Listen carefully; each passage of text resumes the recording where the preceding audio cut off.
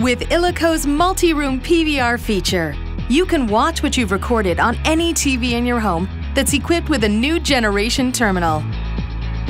For example, you can record all your shows in your living room and watch them in your basement or bedroom. To use this feature, you need a new generation PVR and a new generation terminal.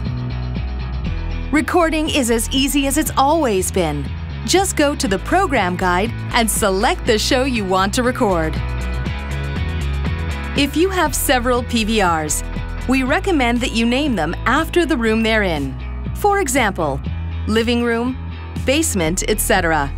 To do so, press the menu button on your remote, click on Recorder, then Preferences. Select the name of the terminal, then rename it. This will make it easier when you need to search through your list of recordings by terminal. To access your recordings, just press the List button.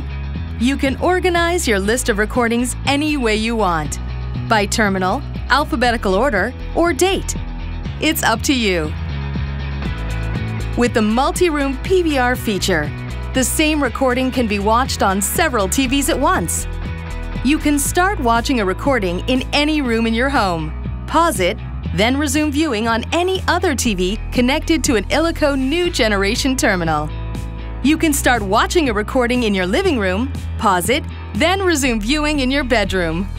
To do so, go to your list of recordings, select the show you want to watch, and then select Resume Viewing.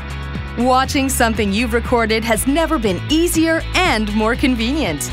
Your Illico entertainment experience always offers you more.